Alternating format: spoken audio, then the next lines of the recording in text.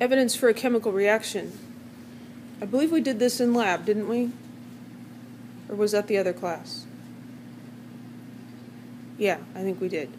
So we, we talked about there's different um, things that we can see, that we can detect with our senses without scientific instruments or anything, that give us a clue that a reaction has happened.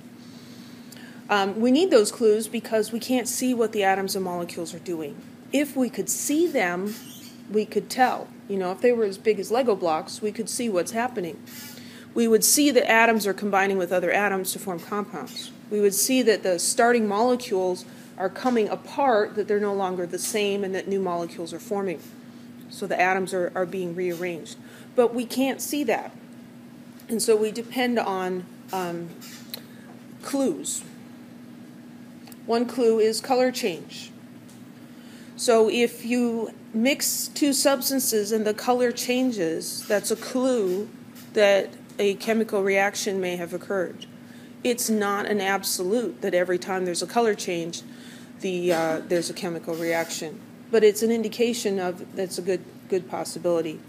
So you may have seen these these little spoons for feeding babies, and if you stick them in food that's too warm, that's going to burn your baby's mouth, the spoon changes color and lets you know, hey dummy, you're going to hurt your baby. Cool that food off. Okay, that's what they're really saying. Um, why does it change color? Well, it's actually a chemical reaction. Now, when you cool that spoon down, the color goes back. Some chemical reactions are reversible, and so they can go one way and then they can go the other way. Another indication is formation of a solid. Here they're pouring a clear yellow solution into a colorless solution, and they're forming kind of a reddish, um, cloudy stuff there. What is that? We can't see through it, it's a solid. It's very small particles of a solid being formed. And so that's an indication that a chemical reaction is happening. Because the things before that were in those two beakers were soluble. And we, when we mix them, now it's not soluble anymore. That's a chemical change. Um, formation of a gas. A lot of times you'll see that by fizzing, or we heated something and we saw that water had come off and deposited on the side of the test tube. So if gas is given off, or sometimes that's um, detected as an odor that was not there before, where did the odor come from? Well, it's a gas that's being given off by the chemical reaction. And another evidence involves light or heat. So things that give off heat or absorb heat. In this example here, we have a burner burning um, probably natural gas that gives off light and heat. That's indication there's a chemical reaction happening there. One of those instant cold packs, you mix the two substances inside of it and gets cold all by itself. It's absorbing heat from the environment. Chemical reaction. Glow stick, you mix the two things inside and it gives off light. That's evidence of a chemical reaction.